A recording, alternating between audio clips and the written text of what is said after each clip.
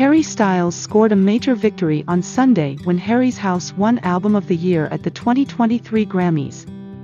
Other contenders in the category included Voyage by ABBA, 30 by Adele, Un Verano Sin Ti by Bad Bunny, Renaissance by Beyoncé, Good Morning Gorgeous, Deluxe, by Mary J. Blige, In These Silent Days by Brandi Carlile, Music of the Spheres by Coldplay, Mr. Morale the Big Steppers by Kendrick Lamar, and Special by Lizzo.